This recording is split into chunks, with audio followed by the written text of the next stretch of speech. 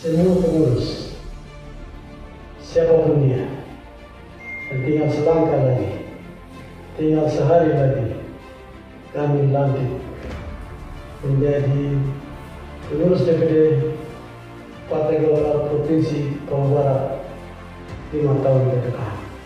Sekalipun pelantikan direncanakan tertunda dua kali, bukan tantangan bagi kami, tapi kami tetap tegak lurus menghormati persoalan demi persoalan, tantangan demi tantangan, tapi balik itu ada harapan. Terima kasih kepada Pak Ketum Partai Golkar untuk melantik kami. Kami berdoa semalam ini, besok pasti nanti semua makanan yang bagi kota ini. Mari dan mari, berbeda persepsi, kita tanggalkan. Mari kita bergandingan tangan, membangun Nusantara ini melalui Partai Golkar di Papua Barat.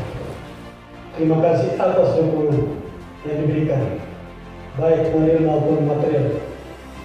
Semoga semua yang dilakukan kepada kami kebaikan Tuhan memberitahukan bagi setiap orang.